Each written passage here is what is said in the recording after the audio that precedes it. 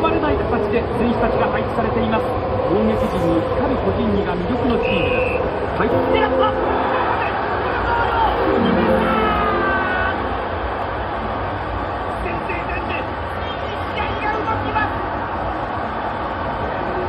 ウィリアムこれはさすがのボールコントロール。ここで取り返す。ゴレツカからウィリアム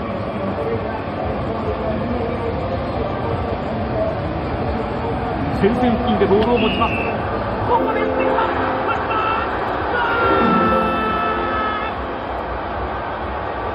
ールネット激しく揺らしましたこれで2点目チームに大きく貢献します。左へ。鋭いパス。この距離から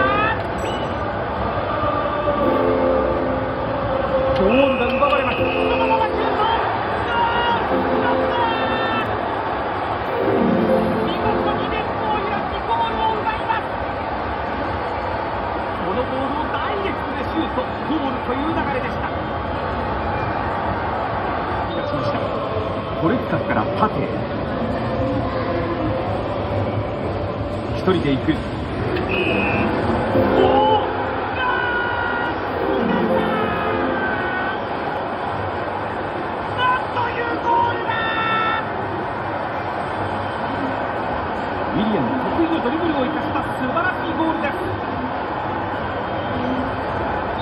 安定感のある中盤と守備陣がチームを支えます。一方アウェーチームは3-4-3のフォーメーションで対抗します。ここで打つ入りましい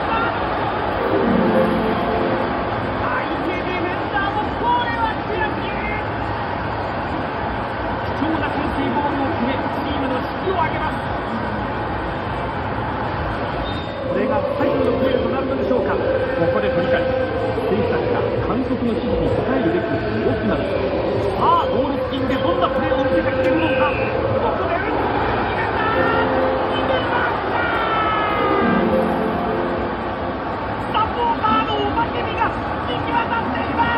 これで2点でチームに大きく貢献しますここで前軸